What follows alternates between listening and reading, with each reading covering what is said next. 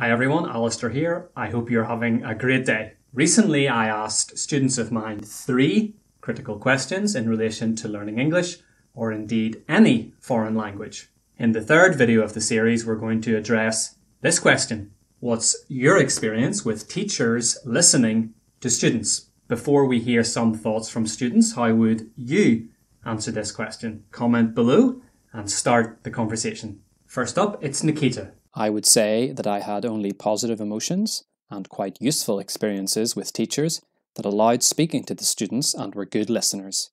Such conversations definitely create a rapport between teacher and student and enrich the student's language skills because the teacher may also give advice or correct the mistake of the student if it's been made. Secondly, here are Elina's thoughts. In my experience, the speaking part was always the hardest task for me. I had a tendency to start a new sentence or continue to expand my idea when I didn't even know what else to say. Another problem that I went through was grammar. I used to speak faster in order to sound more fluent and forgot about all the rules.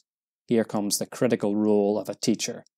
For me, it was better to tell my thought till the end, making all the possible mistakes, and after hear the critics.